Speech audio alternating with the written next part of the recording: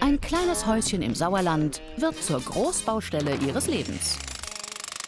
Man weiß ja nie, was einen in der nächsten Ecke erwartet. Je länger sie umbauen, desto mühsamer wird's für Stefan und Katharina Jüngst. Oh, ich glaube, der Akku ist so langsam leer. Oh. Zum Glück sind Hogräfer und Binkenstein am Start, denn Probleme gibt's genug. Der Fußboden passt nicht rein, das Treppenmaß stimmt nicht. Katastrophe, garantiert. Scheiße, scheiße, scheiße. Da müssen unsere Experten ran. Bauingenieurin Sabine Binkenstein ebnet steinige Wege in die eigenen vier Wände. Und Baufuchs Ulf Vogräfer packt mit an. Der Schreinermeister gibt Häuslebauern Hilfe zur Selbsthilfe. Familie Jüngst, der neueste Fall für Hogräfer und Binkenstein.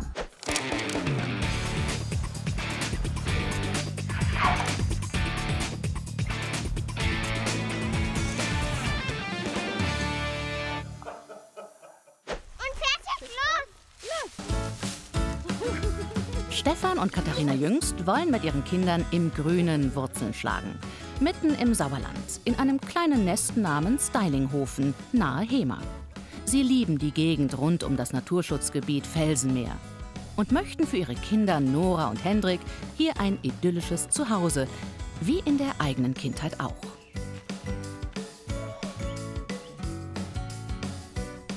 Ich bin in Deilinghofen groß geworden und fühle mich hier wohl. Und ja, wenn ich es mir aussuchen könnte, würde ich am liebsten hierher zurückkommen.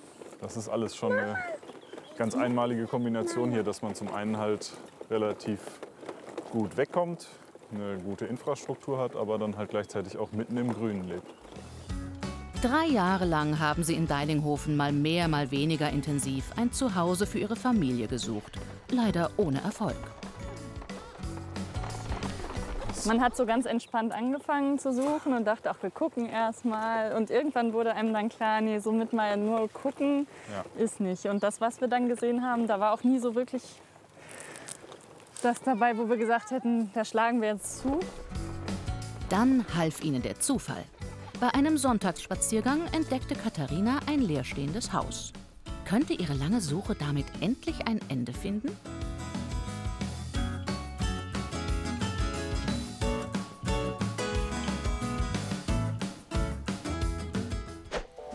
Es war Liebe auf den ersten Blick. Seit Tagen träumen Katharina und Stefan nur noch von diesem kleinen Haus in Deilinghofen.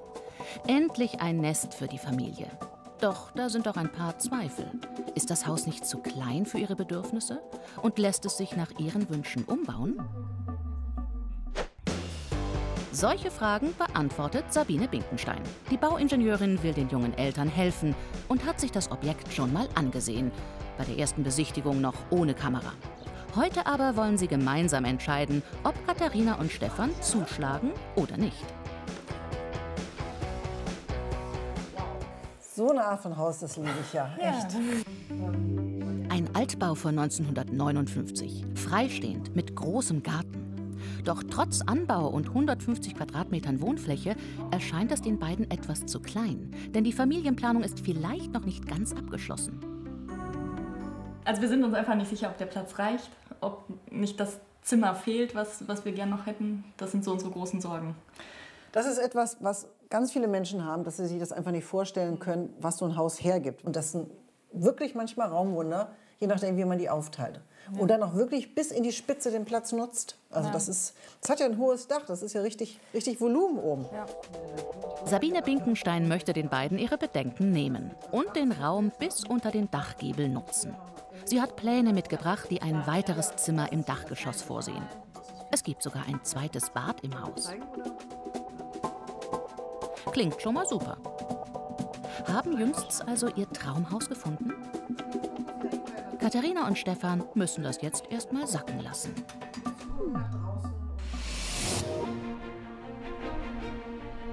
Wenige Wochen später ist dann alles perfekt. Stefan und Katharina haben zugeschlagen. Am 1. November 2020 kommen sie freudestrahlend von der Schlüsselübergabe und dürfen ihr neues Zuhause endlich Freunden zeigen. Ihr Schlüssel zum neuen Glück ist gebraucht, aber jetzt ist es endlich ihre.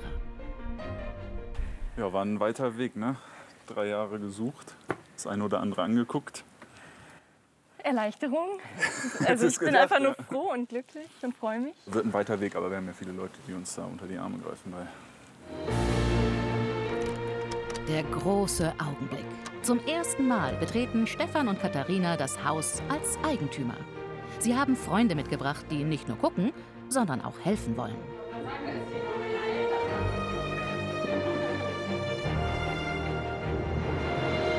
Und Stefan kann sich schon genau vorstellen, wie er aus dem Schlafzimmer in den begehbaren Kleiderschrank und von dort aus zur Toilette kommt. Allerdings, ein bisschen was müssen sie noch machen. ist ein schönes Haus, es ist äh, kernsolide, aber es wird wirklich alles gemacht. Wir machen die Heizung, wir machen alle Wasserleitungen, wir machen alles an Strom neu. Jeder Fußboden kommt raus, wir machen alle Wände nackig, wir kloppen Wände raus, wir ziehen Wände hoch, wir nehmen Teile des Fußbodens vom Dach weg. Es wird hinterher echt anders aussehen als vorher, hoffe ich zumindest. Vieles davon wollen sie in Eigenregie stemmen, aber nicht ohne die Hilfe ihrer Freunde Markus, Maike und Maikes Vater Jochen. Die haben vor drei Jahren ihr Haus kernsaniert, ebenfalls mit Unterstützung von Hogräfer und Binkenstein. Wir haben das hinter uns, ein komplettes Haus renoviert zu haben. Und wir haben ja auch fast alles selbst gemacht, bis auf ein paar Kleinigkeiten. Und mit dem Wissen, was wir haben, freuen wir uns jetzt natürlich, da gute Freunde unterstützen zu können. Ja, und wir haben ja damals einfach mit Hogräfer und Binkenstein so viel Unterstützung gehabt und fanden das so toll, dass wir dann gedacht haben, vielleicht ist das auch was für Kathi und Stefan. Rückblick. Drei Jahre ist es her, da hatten Maike und Markus ihr Häuschen in der Nachbarschaft gekauft und in Rekordzeit entkernt und ausgebaut. Auch damals half Bauingenieurin Sabine Binkenstein bei der Planung und Umsetzung. Baufuchs Ulf Hogräfer stand den Häuslebauern mit Rat und Tat zur Seite. Jetzt können wir aufräumen. Mit eisernem Durchhaltevermögen schaffte es die Familie in nur fünf Monaten Umbauzeit in die eigenen vier Wände.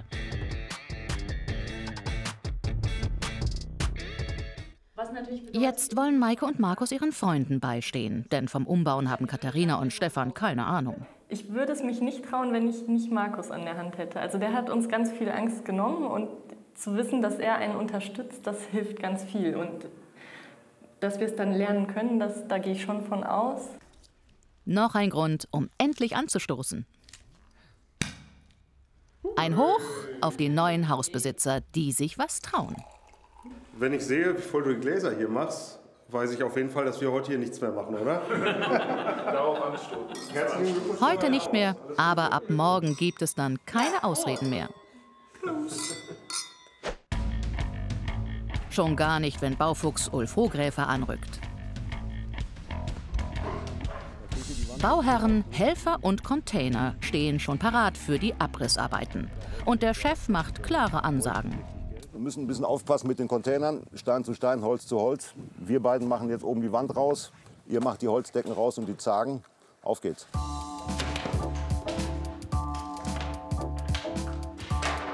Die Holzdecken leisten keinen Widerstand.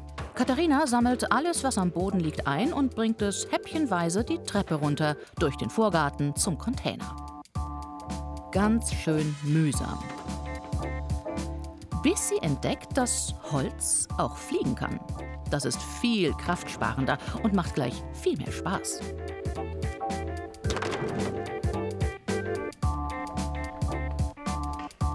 Beim Abriss der massiven Holzzargen blutet Tischlermeister Ulf allerdings das Herz.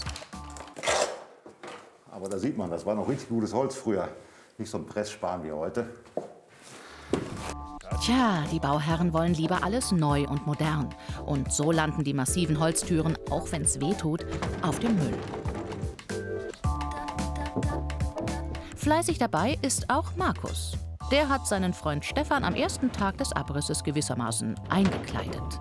Jetzt rennt der Bauherr mit einer nagelneuen rosa Sicherheitsweste über die Baustelle. Ein echter Freundschaftsdienst. Für Stefan habe ich äh, Rosa gewählt, weil er gesehen werden soll. Und man soll direkt sehen, dass äh, er hier was zu sagen hat, dass er hier der Bauherr ist. Und ähm, Ja, mit dem Rosa, da geht ja auch nichts zwischen den ganzen Bauarbeitern verloren. Safety first hier auf der Baustelle. Das habe ich äh, bei mir zu Hause schon gelernt auf dem Bau. Und ja, das Rosa ist einfach unschlagbar. Man muss es auch mit Würde tragen können. Und Stefan trägt heute noch viel mehr. Baustützen zum Beispiel. Mit Ulf will er jetzt die erste Wand einreißen. Doch vorher halten die zwei lieber noch mal Rücksprache mit unserer Bauingenieurin Sabine. Hi Sabine. Na, ihr Bauherren, ist gut für euch? Alles fantastisch bis jetzt. Ah, Im Videocall mit unserer Fachfrau wird besprochen, was wegkommt und was fürs Design der Küche noch sinnvoll ist. Ulf zeichnet alles sofort mit. Absolut. Dann würde ich aber vielleicht die Rüstung jetzt nur 1,17 Meter hoch machen. Dann habt ihr oben noch Platz für eine Holzplatte als Ablage oder sowas. Sieht vielleicht ganz schön aus. Gut. Frohes Schaffen. Ja, selber. Klingt gut und wird genau so umgesetzt. Ulf schneidet vor. Und Stefan versucht mit dem niegelnagelneuen Stemmhammer die Betonsteine Schicht für Schicht abzutragen, wie ein Mauerspecht. Nur das dauert definitiv zu lange. Also probiert's Markus mal mit Muskelkraft auf die altmodische Art.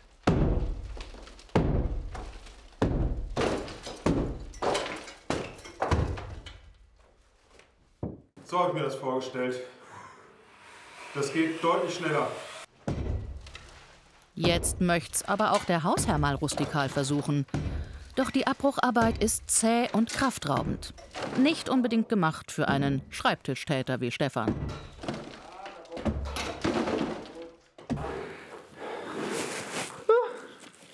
So einen Schluck Wasser könnte ich vertragen. Also Schichtwechsel. Hier hätte vorher niemand gedacht, dass man für nur drei Quadratmeter Wand zweieinhalb Stunden braucht. Geschafft. Und Stefan hat sofort Visionen. Das kann ich mir jetzt schon hervorragend vorstellen, weil ich weiß, dass wir hier dann die Küche haben werden. Hoffentlich hinter mir das Kochfeld auf einer Insel stehend. Von hier links kommt der Kühlschrank, da hinten ist die Vorratskammer. Hier kann man spülen. Wenn wir dann nach dem Einzug hier stehen und die Sektgläser hier spülen und durch das dann neue Fenster hier auch den Blick auf den Garten haben, das kann ich mir jetzt schon gut vorstellen. Den Muskelkater, der ihn morgen wohl erwartet, allerdings noch nicht. Aber ein bisschen tut's schon weh. Also fertig für heute. Am Abend ist das Haus endlich leer. Der Anfang einer langen Reise. Eines sehr frühen Morgens startet dann in der Morgendämmerung ein Abenteuer auf dem Bau. Markus und Stefan haben Großes vor und sich dafür schweres Gerät geliehen. Bevor der Winter kommt, wollen sie vor dem zukünftigen Wohnzimmer Platz für bodentiefe Fenster schaffen. Und auch wenn sie Bagger fahren schon immer faszinierte, Erfahrung haben sie nicht. Erkenntnisse im ersten Licht des Tages. Das ist gar nicht so einfach alles. Aber macht total Spaß. Der Abraum findet anfangs auch auf ungewöhnlichem Weg in die Baggerschaufel. Sie kennen sich halt noch nicht aus. Doch mit der Zeit gräbt sich Markus immer tiefer in die Materie. Stefan hat auch ein großes gelbes Spielzeug, einen sogenannten Dumper. Eine Schubkarre mit Raupenantrieb, die ihm große Freude macht. Hat ja nicht jeden Tag so eine Baustelle und da muss man das einfach mal ausnutzen, dass man mal die Gelegenheit hat, sich so eine richtig dicke Maschine in den Garten zu stellen. Zwei große Jungs erfüllen sich einen Kindheitstraum. Dabei zeigt sich, die zwei haben sehr unterschiedliches Talent im Umgang mit kraftstrotzenden Maschinen. Stefan muss letztlich zugeben, Für Bagger bin ich auch echt zu doof. ihm fehlt dafür die Feinmotorik, sagt er. Doch im Laufe des Tages entwickelt er sich zum Experten fürs Abladen von Aushub und hat damit einen Heidenspaß. Bis der Tag zu Ende geht und die Arbeit geschafft ist. War echt ein langer Tag. Sieht nicht nach viel aus. Ist aber eine Menge. Hat schon echt Bock gemacht. Schon geil mit den großen Maschinen hier rumzufahren. Ist jetzt nichts, äh, was ich unbedingt jeden Tag machen wollte. Aber mal so ein, zwei Tage am Stück ist das schon so ein bisschen Männerurlaub.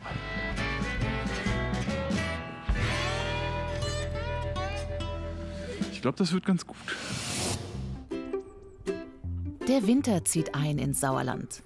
Und drinnen gehen die Arbeiten voran. Fliesen runterschlagen, die alte Heizung abbauen, Wände rausbrechen. Alle sind fleißig. Auch Kati schlägt sich durch.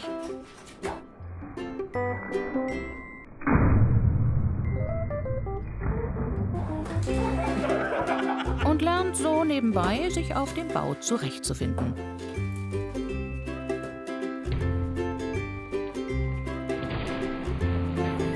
Markus ist in diesen Tagen nur noch auf der Baustelle. Als DJ kann er während des Lockdowns eh nicht arbeiten. Also übernimmt er als erfahrener Hobby-Häuslebauer das Ruder bei den Freunden. Markus hilft uns irre viel. Es gab aber auch mal so Momente, wo wir gemerkt haben, dass wir ganz unterschiedlich arbeiten. Ähm, er ist so der Macher, der hat in seinem Kopf den Plan und legt los. Und da bin ich manchmal echt überwältigt gewesen. Wir hatten kurz vor Weihnachten die Situation, dass wir dass ich einfach nur zum Haus fahren wollte, um irgendwas nachzugucken, steig aus dem Auto, guck raus, da ist das Dach offen. Und er hat sich überlegt, heute reißen wir den Schornstein ab. Zwei Tage vor Weihnachten. Da musste ich schlucken und das war irgendwie schwierig. Auch wenn in dieser Phase nicht immer alles glatt geht, Markus ist weiterhin eine wichtige Stütze für Katharina und Stefan. Sein eigenes Haus hat er ja schließlich auch gut hingekriegt. Und wie eine Baustellenheizung und ein Döner zusammenkommen, das weiß auch nur er. Die hohe Kunst der Baustellenküche. Danke, lieber Markus, dass du an mich gedacht hast.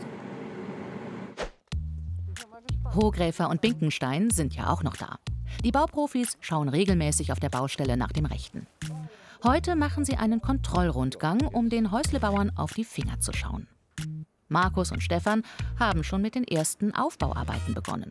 Das wirft bei den Experten prompt ein paar Fragen auf.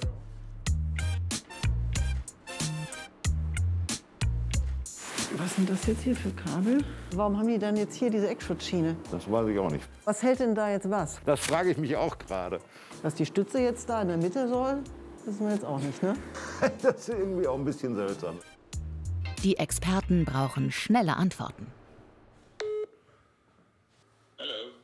Hallo. Hallo. Und weil Stefan gerade Erkältungssymptome hat, findet die Baubesprechung per Videocall auf Distanz statt.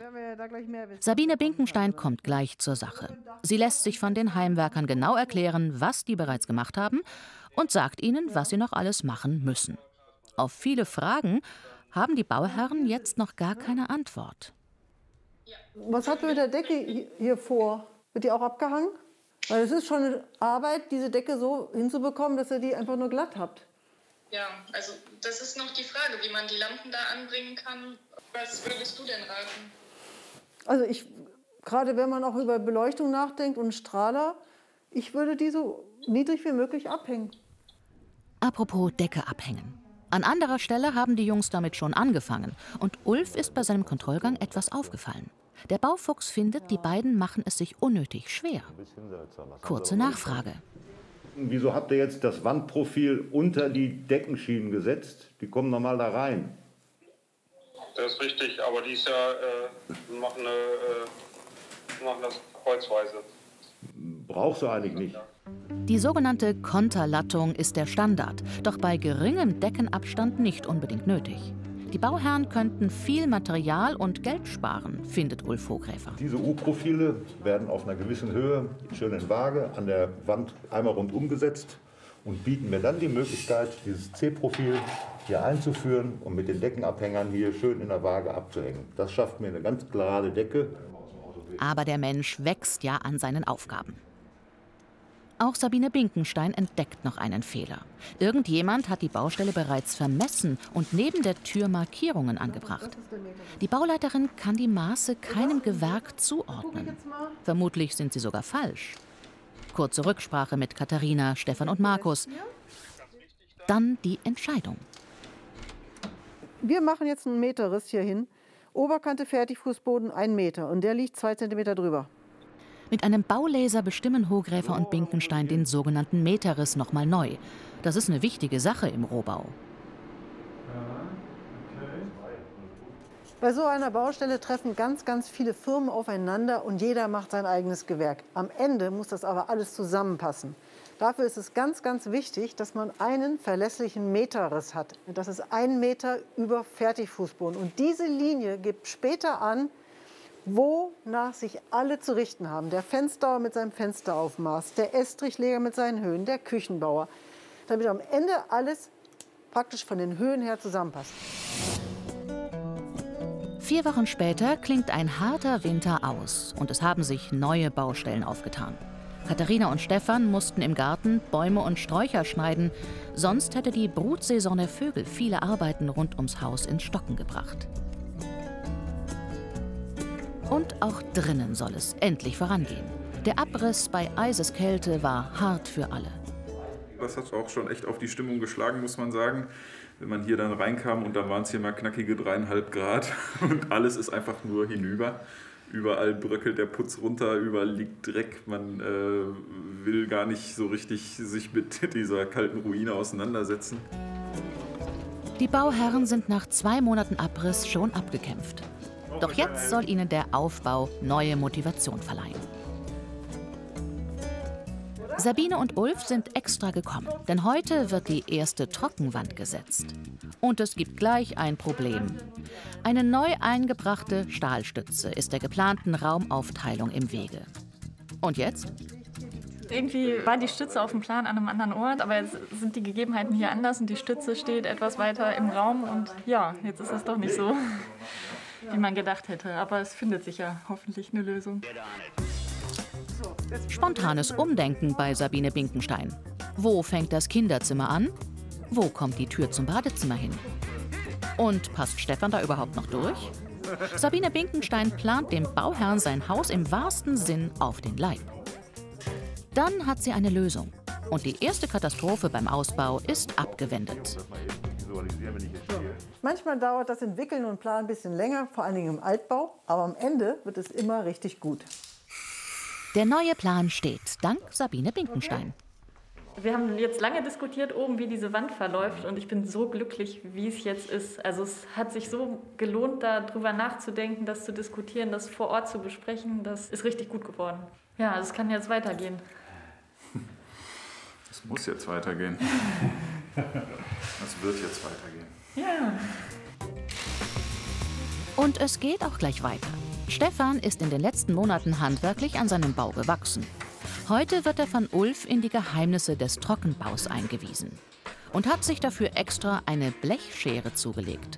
Es soll nicht die einzige Wand im Haus bleiben, die er selber bauen will.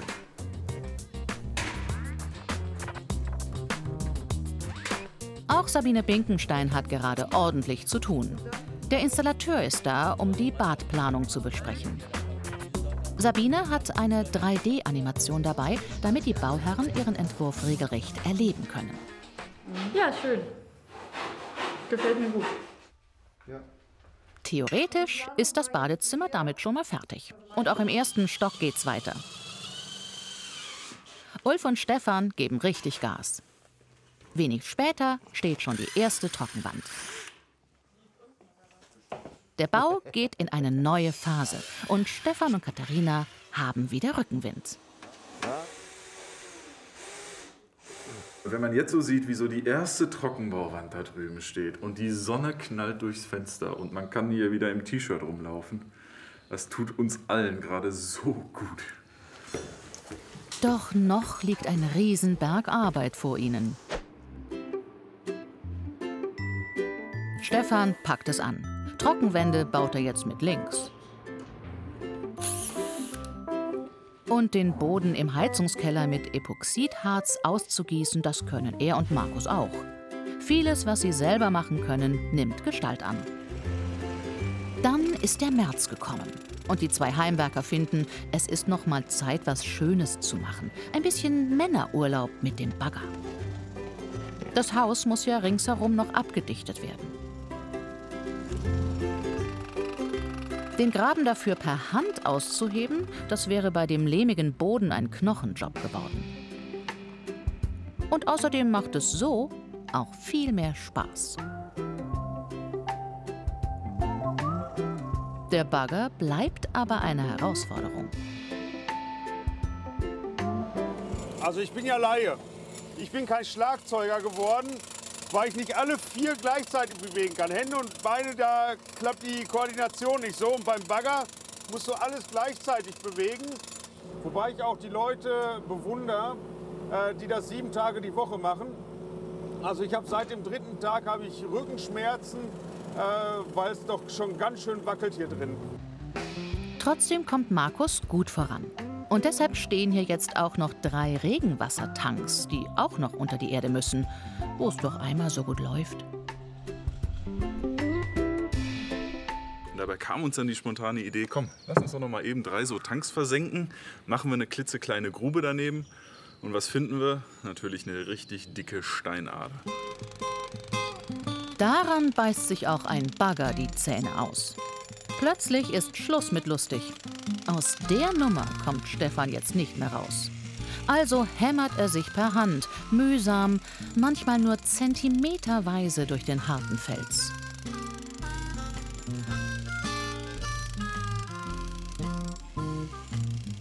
Er hätte es ja eigentlich wissen können.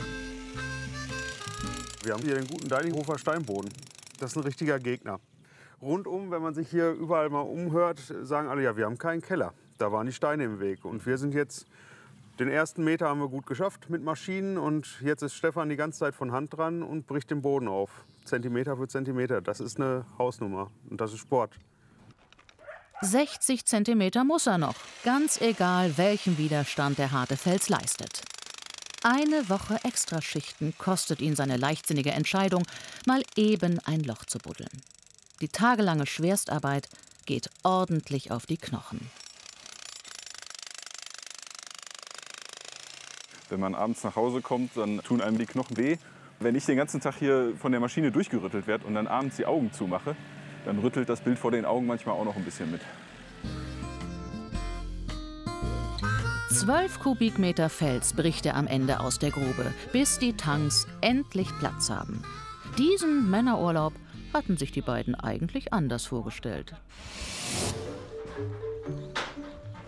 Im April kommen dann auch die Dachdecker. Und weil das Gerüst schon mal steht, werden auch gleich die Fenster vergrößert. Für solche Arbeiten gibt es auf dem Bau eine klare Arbeitsteilung. Die Hausherrin, die weiß immer, wie die Maße sind. Ne? Wir können nur Löcher machen. Genau, wir machen die Löcher und sie sagt wohin. Das äh, klappt so aber auch ganz gut. Heute wird der Durchbruch für die Terrassentür gestemmt. Ich gehe erstmal die Motivation suchen. Als die gefunden ist, geht's los. Katharina zeichnet nur noch an und überlässt den Rest den Männern, denn sie ist seit kurzem schwanger mit Kind Nummer drei. Stefan und Markus schlitzen zunächst die Fassade, damit die von außen keinen Schaden nimmt. Dann stemmen sie ein Loch in die Mitte. Von da aus arbeiten sie sich mit Vorschlaghammer und Säge Stück für Stück durch die Außenwand. Und nach einem halben Tag ist aus dem kleinen Loch ein Riesendurchbruch geworden. Mittlerweile reine Routine für die zwei. Gut, Feierabend. Am Ende macht das 60 Euro für die Total toll, dass man hinterher da steht und sagt so, jo, das habe ich dann gemacht, das Loch. Und das Aufmauern danach habe ich dann auch noch gemacht. Und äh, dann sieht man halt wirklich, was man da selber gemacht hat und da ist man dann auch stolz drauf. Ursprünglich wollte Stefan gar nicht so viel am Haus selber machen. Jetzt geht nach und nach sein ganzer Jahresurlaub drauf. Im Corona-Lockdown wird die Logistik zunehmend schwierig. Stefan und Katharina wollen eine Badausstellung besuchen, brauchen dafür aber extra einen Termin und einen Corona-Test. Dafür haben sie den Laden dann aber auch ganz für sich. Und staunen, welcher Luxus möglich wäre, wenn sie den Platz und das Geld hätten. Das ist unser Badezimmer von der Fläche her, glaube ich. Genau. Passt eine Badewanne rein. Da waschen wir dann die Hände. Von der Nasszelle bis zur Wellness-Oase. Die Ideen sind unerschöpflich in puncto Design, Komfort und Ausstattung. Verführerisch. Ja, man sieht auch immer die schönen Sachen ausgestellt. Und äh, wenn man sich dann da in die Dinge, die ausgestellt ist, verliebt. Ja, es ist wie beim Pkw-Konfigurator. Man haut erstmal alles an Extras rein und dann macht man es raus, bis es preislich passt. Und was beim Auto die Probefahrt, ist in der Badausstellung das Fühlen und Erleben. So, Sabine Winkenstein hat gesagt, wir sollen uns einfach auch mal auf alles draufsetzen, Stefan. Auch auf die Wasserhähne? Auch auf die Wasserhähne. In der Badausstellung laden ganze Toilettenreihen zum Probesitzen ein. Oh, mein rechter, rechter Platz ist frei. Machen wir das dann auch so im richtigen Badezimmer? Warum nicht? Gibt ja auch Doppelwaschbecken. Und nebenan wäre dann ja auch noch Platz für die Kinder. Lass mal tauschen. Nicht jeder Deckel passt bekanntlich auf denselben Topf. Das ist besser. Die Badplanung könnte auch eine längere Sitzung werden. Die beiden haben viele Fragen. Welche Armaturen sollen es sein? Ist so ein einziehbarer Brauseschlauch für Kinder geeignet? Und in welcher Wanne finden auch Stefans lange Beine Platz? Jüngsts sind nicht gerade entscheidungsfreudig und zweifeln ab und zu auch an längst Beschlossenem wie Binkensteins Bäderplan. Doch mit dieser Besichtigung kommt die Einsicht. Das war jetzt nochmal so der Punkt, wo wir auch nochmal auf die Sabine Binkenstein hören und ein schräges WC platzieren Jawohl. und das alles einfach viel besser Es passt. hat ja. sich jetzt nach vielen Wochen des Umplans und Hin- und Herüberlegens dann doch gezeigt, dass das, was die Sabine da ursprünglich geplant hatte, schon genau das Richtige für den Raum war. ja. Sie weiß halt, was sie tut. Zwei Monate später ist viel passiert im Haus jüngst. Die Fußbodenheizung liegt, alle Durchbrüche sind gemacht und überall sind die neuen Fenster drin. Der Innenausbau ist in vollem Gange. Haustechnik und Elektrik machen auch Fortschritte. Die Badezimmer könnten schon viel weiter sein, doch Stefan und Katharina konnten sich bisher nicht auf die Fliesen einigen. So lange hat das kleine Monster, das hinterm Waschbecken wohnt, noch freie Sicht auf die Baustelle. Jüngst sind gerade einfach durch. Ah, ich glaube, der Akku ist so langsam leer. Das sind jetzt schon viele Monate, die man hier ackert und schuftet ohne Pause, ohne Auszeit. Das ist, glaube ich, ein Punkt, der so langsam problematisch wird. Lange waren die Fortschritte am Bau kaum sichtbar. Doch heute soll es so richtig weitergehen. Die Estrichleger sind da. Den Boden gerade und gleichmäßig abzuziehen, das haben Stefan und Katharina lieber Profis anvertraut. Weil hier eine spezielle Fußbodenheizung verbaut wird, muss der Estrich besonders dünn werden. Erst einmal scheint alles glatt zu gehen. Doch kaum sind die Arbeiter weg, stellen Stefan und Katharina fest, der Aufbau des Bodenbelags ist zu dick. Krisensitzung mit Hogräfer und Binkenstein. Unsere Experten sehen den Fehler sofort. Nee, das wird gehen. Also hier wird die Matte ja noch draufkommen. Oder Estrich Legger hat es ein bisschen gut gemeint. Der hat das jetzt sehr hoch gelegt. Und ich zeige dir das mal eben. Wir stehen jetzt hier gerade vor der Balkontür. So, wenn wir jetzt die Tür öffnen würden. Dann schleift's, wenn erstmal die Fliesen liegen.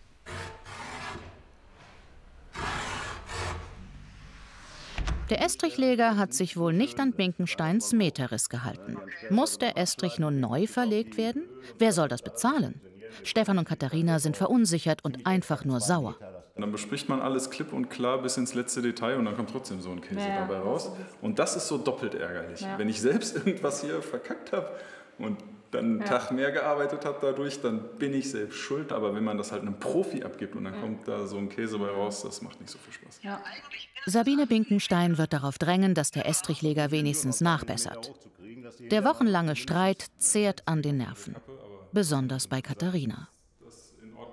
Jetzt in der Schwangerschaft mit den Hormonen, da überkommt es mich manchmal. Und da fand ich es ganz hilfreich, dass das Telefonat mit Sabine Binkenstein, dass die einfach mal sagt, so jetzt versuchen wir mal runterzukommen, jetzt gucken wir, was sind die eigentlichen Probleme und was sind Probleme, die nicht wirklich da sind. Und das ist dann immer hilfreich, dass man nicht durchdreht.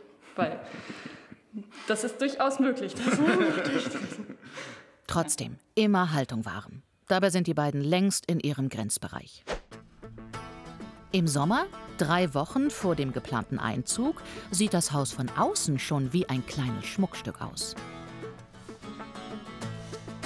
Drinnen kann endlich auch der Fliesenleger loslegen. Sabine Binkenstein hat mit dem Estrichleger verhandelt. Er hat den Boden abgeschliffen und die Gewährleistung übernommen. Ein guter Kompromiss.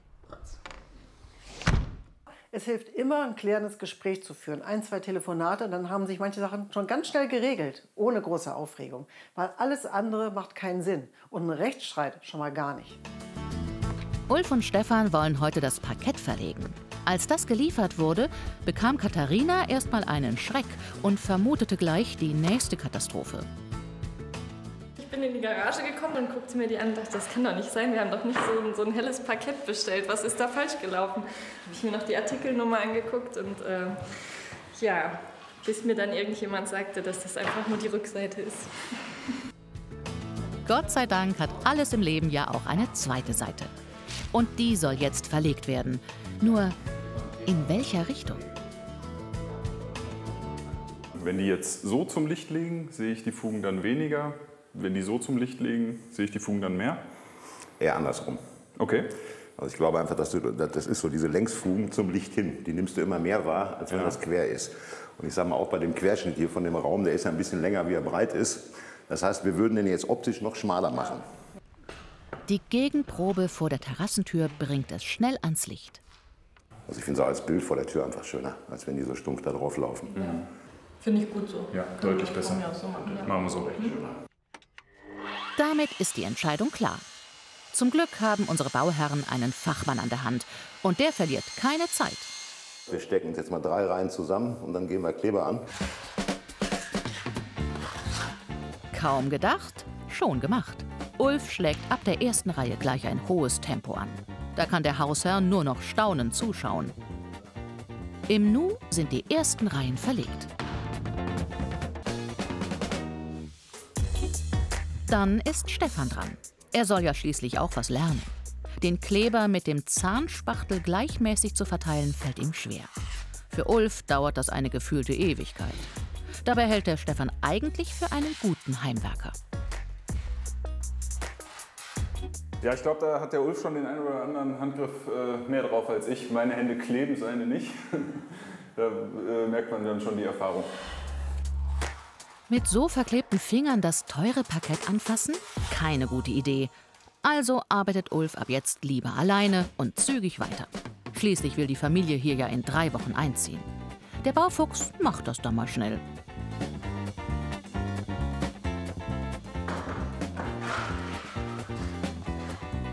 Ulf legt uns in einer Wahnsinnsgeschwindigkeit das Parkett. Da ist ein Raum nach dem anderen weg.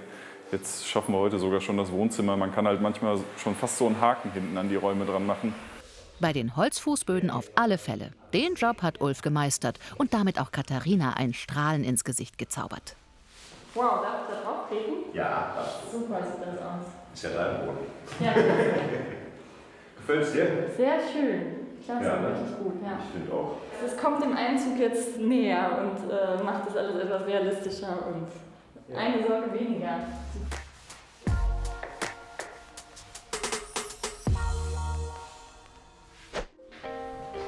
Ende August ist es endlich soweit. Familie Jüngst zieht um. Ein großer Tag für alle. Und eigentlich würde man heute nichts als Vorfreude auf das neue Zuhause erwarten.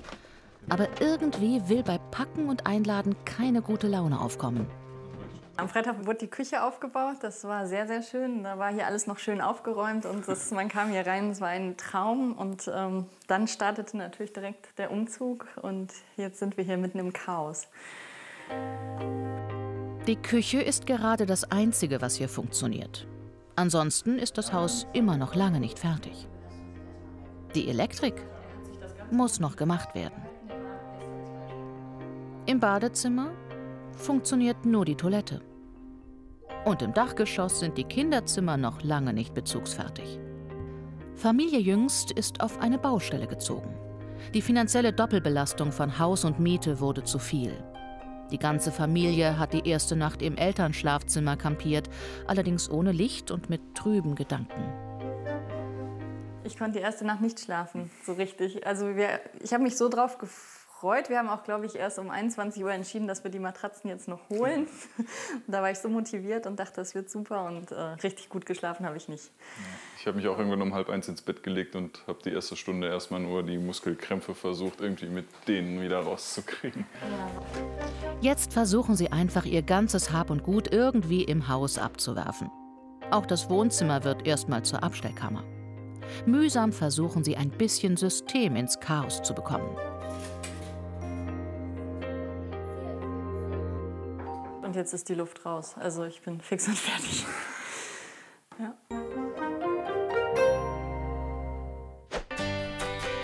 Ein paar Wochen später haben sich Ulf Hogräfer und Sabine Binkenstein angekündigt. Ich freue mich jetzt richtig, das zu sehen. Ja, ne? Zehn lange Monate haben sie die Arbeiten in Deilinghofen begleitet. Jetzt schauen sie nach, wie die Familie so wohnt.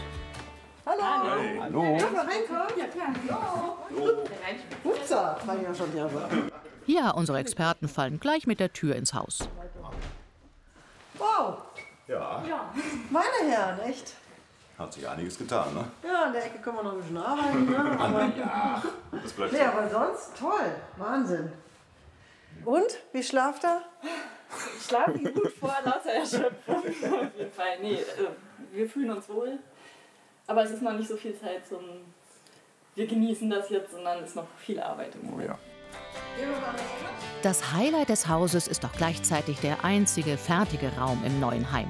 Ich bin so froh, dass ihr den Raum genommen habt als Küche, wirklich. Und ich bin sowieso total happy, wie du uns die Küche geplant hast. Das habe ich dir ja auch schon geschrieben. Dass jedes Mal, wenn ich hier reinkomme, ich mir denke so, boah, cool, dass das so geworden ist und dass nicht hier irgendwie so ein totes Esszimmer ist oder irgendwie ein Ja, da, da, wärt, da wärt ihr nie in dem Genau, Esszimmer. ja. Nie. Stattdessen steht jetzt im größten Raum eine topmoderne Küche mit der schönsten Aussicht im Haus. Weiter geht die Führung. Im Obergeschoss sind Katharina und Stefan noch nicht sehr weit gekommen. Nur eines der drei Kinderzimmer ist bisher fertig. Die fehlenden Zimmertüren sind hier das kleinste Problem. Tja, und das Badezimmer? Da ist Das noch ist, der ein oder ähm, andere Handschlag zu tun, ja? Das glaube ich aber auch mehr als das. Ne? Wie macht ihr das denn mit dem Badezimmer? Ich meine, ihr wohnt doch hier und äh, Ja. es ist ja gar kein Badezimmer irgendwie fertig, ne? Nee, ich mache dann abends immer noch einen Ausflug zur Mama. Du und die anderen? Ja, ich auch.